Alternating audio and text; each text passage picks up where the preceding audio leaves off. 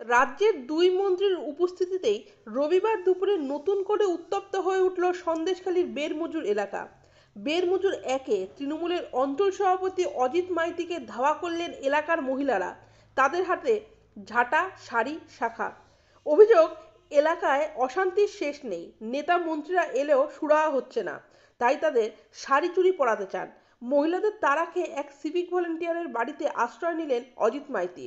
আর জনরোষের মুখে পড়ে দুর্নীতির অভিযোগ স্বীকার করে নিয়ে তিনি ইস্তফা দিতে চাইলেন। যদিও পার্থ ভৌমিক ও সুজিত বসু দুই মন্ত্রীর দাবি অজিত দলের কেউ নন। তাকে আগেই পদ থেকে সরানো হয়েছে।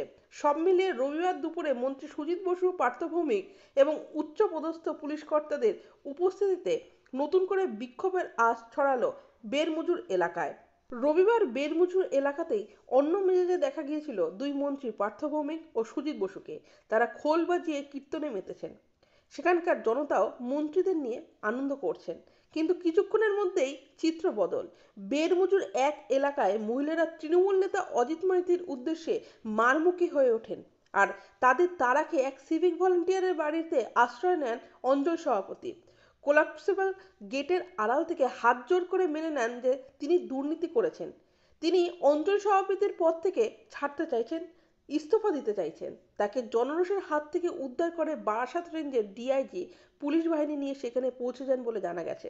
এর আগে এই এলাকার অঞ্চল সভাপতি পদে ছিলেন শেখ শাহজাহানের ভাই শেখ সিরাজ। তাকে আগেই পদ থেকে সরিয়ে আনা হয়েছিল অজিত মাইতিকে বসানো হয়েছিল।